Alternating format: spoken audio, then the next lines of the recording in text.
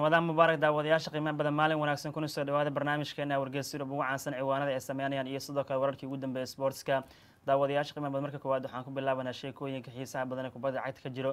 Qodobka koowaad waxaa qaadanaya jimcadii kulanka ay qaateen kooxaha premier league labaatanka video conference maxaa ka soo baxay iyo sidoo kale mustaqbalka e b l muxuu noqon doonaa.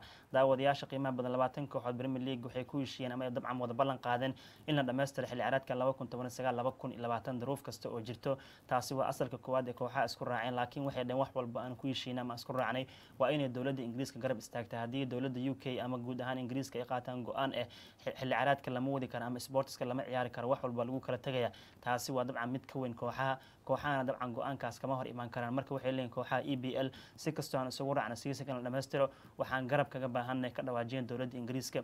Aan sii wadna sheekadan xiisaha badan. Sidoo kaleeto kooxaha e b l daawadayaasha qiimaha badan waxay isla soo qaateen aragti ku aadan in dabcan la sameeyo ama la dejiyo qorshe ku baxaya budget ku baxaya ama qarashaad ku baxaya. Testiga ama baaritaanka ciyaartooyda lagu sameyn doono markii ay soo laabtaan ama kuwa haatan joogo. Toddobaad kasta dabcan test ayaa loo baahanya baaritaan in la sameeyo ku aadan cudurka halista badan taasi oo qarash u baahan. Sidoo kaleeto kooxaha e b l waxay rabaan sideed iyo tobanka bisha may dabcan in tababarka si rasmiya loo bilaabo sideedda bisha juun horyaalka la furo toddobaadka dabcan toddobaadka koowaad ama toddobaadka labaad bisha julayna seasonka la dhammaystiro. Sidoo kaleeto waxaa laisla qaatay aragti ahaan inaysan macquul ahayn in taageero garoonka imaadaan oo taageero la'aan ayaa la ciyaari doonaa. Waxay ka dhigan tahay marka in sidoo kale lagu heshiye aragti ahaan ku dhawaad toban garoon oo loo arkay inay yihiin garoomada badbaadada qabaan ama safeka ah oo horyaalka lagu dhammaystiri karo. Kama dhigna micnaha garoomadan garoomada kale ka fiican laakiin waxay kaga wanaagsan yihiin waxay tahay eriyada ay ku yaaleen ama hareeraha ay ku yaaleen ama magaalada ay ku yaaleen xoogaha waxaa ku yar cudurkan halista badan coronaviruska reportingkiisa ama soo tabintiisa ama siduu u badanaya ku yar. Saa darteed garoomada qaara loo arkay in dabcan dhexaad ay yihiin. Garoomadaasana premier league lagu dhammaystiri doonaa. Waxaan soo qaadan karnaa garoomadaas inay ka mid yihiin garoomada nabdoon ama area nabdoon ku yaalaan. Garoonka london stadium kooxda west ham united ku ciyaarto. Garoonka itixaad stadium kooxda man ku ciyaarto. Garoonka emirates stadium kooxda arsenal ku dheesho. Garoonka lagu magacaabo carrow road oo ku ciyaarta kooxda norwich city. Garoonka vitality stadium oo ku ciyaarta kooxda bournemouth. Iyo sidoo kaleeta villa park aston villa ku ciyaarto sidoo kale xitaa manchester united waxay soo jeedeen garoonkooda old trafford inuu ku yaalo meel safe ama nabdoon oo ay dabcan kalsooni ku qabaan afarta kulan ee homekooda u dhiman premier league inay ku ciyaari karaan. Sidoo kale haddii kooxaha kale u baahan yihiin ee garoonkooda adeegsan doonaan tani waxay ka dhigan tahay marka labaatan kooxood e b l inay commuter ku yihiin ama ay ka go-an tahay season in la dhammaystiro. Sidaa darteed kooxaha premier league waxay kalsooni ku qabaan xilli ciraadkan la dhammaystiri karo haddii dowladda ingiriiska ay garab ka helaan. Sidoo kaleeto waxaa la sheegay xitaa haddii xilli ciraadkan la dhammaystiro seasonka dambe lixdii bilood ugu horeysa ugu yaraan waxaa la ciyaari doonaa taageero la'aan oo hubanti ama damaanad qaad lama haysto in cudurkan si dhaqsiya dunida kaga baabi'i doono maadaama la sheegay inay qaadan doonto sideed iyo toban bilood in la helo dabcan vaccine ama talaalka dhamaystir inay u k soo saaran. Arrinkaas awgeed marka waxaa la sheegay laba kun labaatan laba kun labaatan iyo kow kooxaha ingiriiska khasaare xoogan la kulmi doonaan maadaama garoomo xiran ay ku ciyaari doonaan. Gaar ahaan waxaa la sheegay manchester united arsenal oo eh labada kooxood dakhliga ugu badan garoon ka sameeyaan inay khasaari doonaan naadi walba waxay khasaari doontaa in ka badan boqol milyan oo boon ayay khasaari doontaa haddana waxay diyaar u yihiin labadan kooxood inay dabcan khasaarahaas qaataan maadaama ay tahay arrin aysan waxba ka qaban karin horena loo socdo. Saa darteed marka jimcadii waxaa soo baxay kooxihii waa heshiiyeen seasonka la dhammaystiro laakiin waa inay dowladda garab ka helaan. Sidaas ayaa seasonka lagu dhammaystiri karaa. Aan sii fiirina sheekooyin kale gudaha ingiriiska jiro. Si gaara markaan u eegna b b c da beeshkeeda gaarka ciwaanada xanta lagu soo daawacay waxaa ka mid ah weeraryahanka mexicaanka ee u ciyaara kooxda wolves raawel jimenez iyo labaatan jir ah. Wuxuu ka dhawaajiyay inay ku adagtahay inuu iska diiyo dalabyada ka soo gaaraya kooxaha real madrid iyo dhanka barcelona. Sida express ee soo daabacday. Sidoo kale goolayaha kooxda manchester united amaada kaga maqan dane henderson oo jira oo xilli ciraadkan kooxda sheffield united la joogo. United waxay sheegeen hal xilli ciraad kale ama sanad kale amaah inuu ku maqnaan doono laakiin lama oga sheffield united inuu sii joogi doono ama koox kale united inay siin doonto sida daily star ee soo daabacday. Dhinaca kale muuse dambelo weerar kaga ciyaara kooxda olympic leone oo iyo labaatan jir waxaa la sheegay inuu ku soo baxay ciyaaryahanka ugu cadcad xagaagan kooxda man city qaadan doonto. Inkastoo la sheegin weli labada kooxood inay wada hadleen haddana city liiska koowaad waxay ku darsadeen qaabkii ay dambeele ku heli lahayn sida manchester evening news ee soo daabacday. Dhinaca kale william oo soddon kow jira kooxda chelsea u ciyaaray contractigiis ku egiyay soddonka juun. Braziliankan wuxuu leeyahy wax dhibaato ma lahan haddii aan ku biiro koox chelsea xifaaltamaan oo london ka dhisan. Tani waxaa loo fahmay marka william inuusan diidi doonin tottenham iyo arsenal dalabkay u soo bandhigeen sidii shabakada mirror ee soo daabacday. Dhinaca kale ryan fraser lix labaatan jir oo kooxda bournemouth ka tirsan wuxuu aqbalay inuu ku biiro kooxda sparis ciyaaryahankan wuxuu leeyahy ka shaqeynta macna jose marino xiise gaar ayaan u qabaa sida football insider ee soo daabacday. Dhinaca kale ciyaaryahanka dabcan qadka dhexe kaga dheli kooxda atletic madrid hector herrera oo soddon jir waxaa la sheegay kooxda west ham united dabagal inay ku hayso. Inkastoo bilowgii sanadkan bishii janaayo west united ku hungowday inay gacanta ku dhigaan hector herrera sida independent ay soo daabacday. Dhinaca kale ciyaaryaanka lagu magacaabo veron torres oo labaatan jir oo kooxda valencia garbaha kaga duulo. Saaxiibkiisa isku kooxda iyo ninka lagu magacaabo jos louis gaya oo labaatan afar jir wuxuu wiilkan kaga digay inuu ku biiro kooxda liverpool sida shabakada markii liverpool eco ay soo daabaceen. Sababtoo jos louis gaya wuxuu qabaa haddii veron torres liverpool uu ku biiro inuu kursiga keedka geli doono maadaama kooxdan sadio mani maxamed salah ciyaartooy isku boos yihiin ay kooxda liverpool joogaan. Dhinaca kale tababaraha kooxda leicester brager rogers wuxuu ka dhawaajiyey in kooxdiisa leicester aysan haynin miisaaniyad ama qarashaad u diyaarsan oo ay philip cotino ku qaadan karaan. Macalin rogers wuxuu leeyahay cotino waa midkii aan liverpool dabcan isku baranay oo aan waqti fiican ku wada qaadanay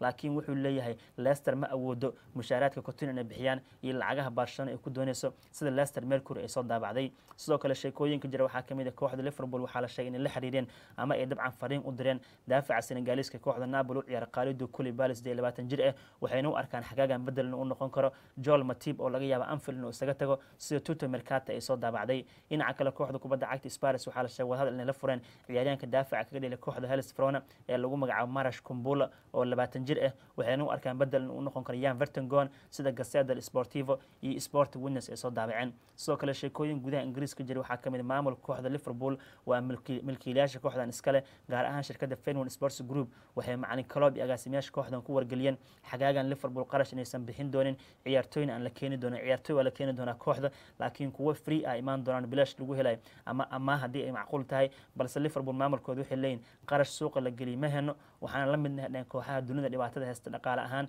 Saa darteed waxay ka dhigan tahay timo warner oo weerar kaga ciyaara kooxda arbi libzag oo liverpool dabagal xoogan ku haysay oo lagu heli karaa afartan milyan oo boon ugu yaraan. In xagaagan liverpool aysan soo qaadan doonin iyo ciyaartooy kale kooxdan dones ay ka mid yihiin dabcan hosam oror oo khadka dhex kaga ciyaara kooxda olympic leone sidoo kale labada ciyaartooy kooxda lil u ciyaarana kale abubakar samora iyo victor osamhen marba haddii liverpool oo sanadka hore champions league qaaday sanadkan horyaalka qaadi rabta ay leeyihiin lacag aan suuqa gelin lama heno kooxaha kale intay joogaan marka la yaab ma noqon doonto xagaagan. Haddii naadiyada premier league suuqa lacag xoogan ay gelin waayaan. Daawadayaasha qiimaha badan bal markaan tagna gudaha spain waxaan fiirin doonaa sheekooyinka xiisaha badan ee gudaha spain ka jiro.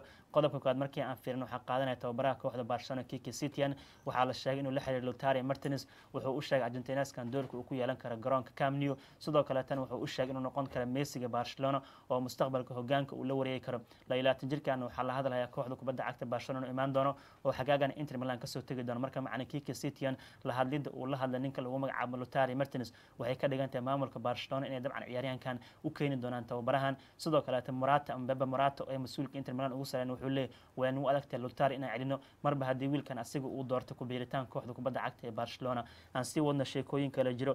Kooxda kubadda cagta barcelona waxay dabagal xoogan ku haya tunja indobele oo ay aaminsan yihiin inay amaah kaga qaadan karaan kooxda kubadda cagta sparis kadibna waxay rabaan toos inay kaga iibsadaan. Inkastoo kan sparis uu yahay midka ugu qaalisnaa taariikhaan ay soo iibsadeen. Dhinaca kale louis Tavares wuxuu sheegay haddii Barcelona uu ka tagayo markuu xilciyaareedkan soo ilaado kaliya inuu ku laaban doono Koonfur America ee koox kale oo qaaradda Yurub inuusan u ciyaari doonin dhinaca kale shabakada caanka ee Marca waxay dabcan wareysi gaar la yeesheen macna Jose Mourinho oo ay dib u xasuusiyeen guulihii Real Madrid uu la gaaray iyo waqtiga caasimadda Spain ku qaatay saddexdii sano intii u dhaxaysay 2010 ilaa 2013 jose marin wuxuu ku faani karaa mar walba ama maarko u sheegay inuu dabcan lagu xasuusan doono xilli toban boqolka dhibcood ee liga spain ku qaaday iyo awooddii gaardiola iyo kooxda barcelona inuu soo ileeyay. Sidoo kale jose wuxuu ka dhawaajiyay inuu asiga sabab u ahay real madrid guulaha ee champions league ka sameeyeen maadaama saddexda sano uu jeegay kooxdan sanad kasta sema final ay soo gaaraysa manus dhamaadka. Inkastoo wuxuu le nasiib darna aan finalka gaari ama koobka u qaadi waayo haddana wuxuu leeyahay saddexda sano madrid aan jeego kooxdan waxaan baray sida qeybaha ugu dambeeya champions league loo soo gaaro.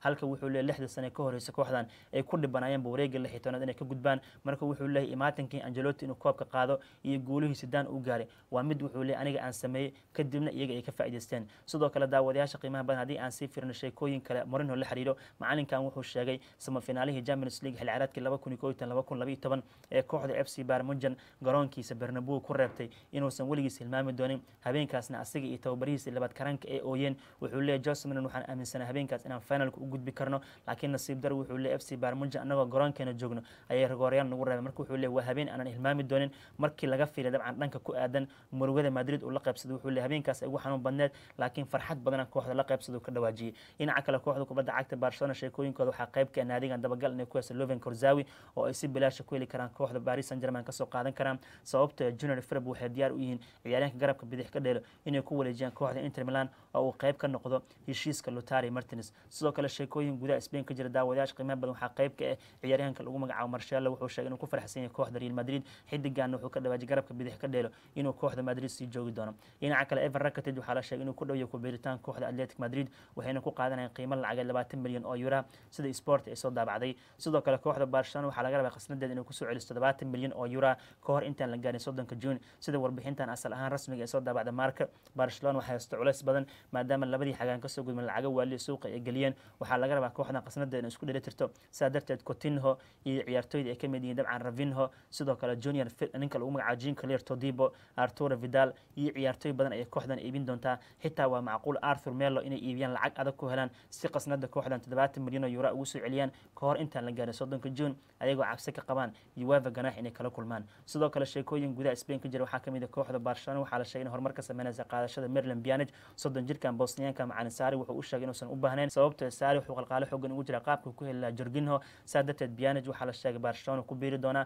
macalinka macalin kiki cityan xiise gaara u qabaa ciyaaryahankan way aragga inuu ka faa'iideysto daawadayaasha qiimaha badan bal markaana tagna gudaha talyaaniga sheekooyinka xiisaha badan talyaaniga ciwaanada waxaa qaadanaya haddii aan fiirina marka koowaad wasiirka ciyaaraha talyaaniga ninka loo yaqaano fishansi aan ku celiyo raalli ahda wasiirka sports talyaaniga ninka lagu magacaabo fishansi isbadavora mas-uulkan wuxuu ka dhawaajiyay markii ugu horreysay ama hadal wanaagsan oo kasoo baxay wuxuu sheegay dabcan inuu garab taagan yahay kooxaha italian serie ada sidoo kale tan wuxuu dabcan ka dhawaajiyay afarta bisha may ciyaartooyda talyaaniga kooxaha talyaaniga inay tababar bilaabi karaan laakiin waa tababar si bareed oo gooni gooni loo sameyn doono kadibna siddeed iyo tobanka bisha may ayay kooxaha talyaaniga tababar dhammaystiran sameyn doonaan sidoo kalena waxaa kalsooni lagu qabaa toddobaadka ugu horreeya bisha juun in la bilaabi doono horyaalka sidoo kale toddobaadka ugu horreeya bisha julayna la dhammaystiri doono laakiin mas-uulkan wuxuu leeyay spadavora waa inay kooxaha talyaaniga u hoggaansamaan guidelineka ama shuruucda dowladda ee dejisay sidaa darteed marka kooxaha talyaaniga culeys badan haysto ku aadan tastiga baaritaanka ciyaartooyda qarashaadkaas ayaga inay dabaraan savitiga ama badbaadada garoonka diyaariyaan waxyaabo badan oo aysan budget u heli karin. Ayuu isbadavor dhabar ka saaraya ciyaartooyda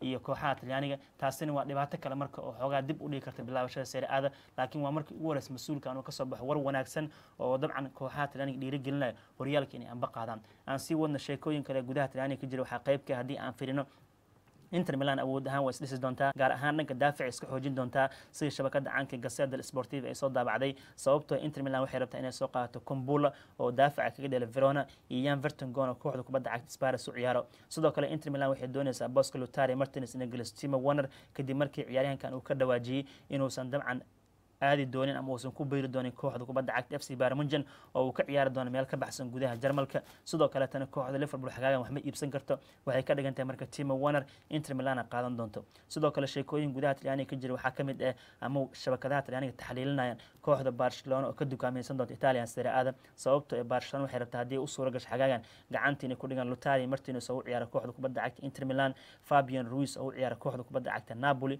merlin bianage oo u dhela kooxda juventus matthews delight oo u ciyaara kooxda Juventus. Afar ciyaaryahan oo world class players oo Italian Serie A muunad u ah ayay rabaan Barcelona gacanta inay ku dhigaan. Laakiin shabakadaha waxay leeyihiin lacagtan intee Barcelona ka keeni doontaa sababtoo ciyaaryahan kasta war waa Barcelona ku biiro. Barcelona marka ayaga laga rabaa ciyaartooyda qaar ee kooxdan joogaan inay iska iibiyaan. Ciyaartooydan qaarkood Serie A kooxooda ka qaadanayaan qaab amaah ay kula heshiiyaan oo ay dabcan labayo toban bilood kadib si toosa kaga iibsadaan. Sidoo kale daawadayaasha qiimo badan sheekooyin gudaha talyaaniga ka jira waxaa qaybka goolhaya jalyuka danarum wuxuu aqbalay contractigiisa milan inuu kordhiyo sida gaseda sportiva ogaatay wiilkan qandaraaskiisa wuxuu ku ekaa kow laakiin markan wuxuu diyaar u yahay inuu qandaraaskiisa kordhiyo. Projectiga milan la dhisi doonana qayb inuu ka noqdo sidoo kale tuti sportiva markii aan firna sheekooyinka qoreyso sheekooyinka ay qoreyso waxaa qayb ka ah Juventus inay ku hungowday helista Federico Chiesa ciyaaryahankan waxaa la sheegay inuu ku dhow yahay ku biiritaan kooxda kubadda cagta Inter Milan sidoo kale qodobada tuti sportiva Juve ka soo qaadatay waxaa qayb ka ah ciyaaryahanka lagu magacaabo Gonzalo Higuain wuxuu bedela maankiisa wuxuuna diyaar u yahay inuu kooxda kubadda cagta Juventus contract cusub u saxiixo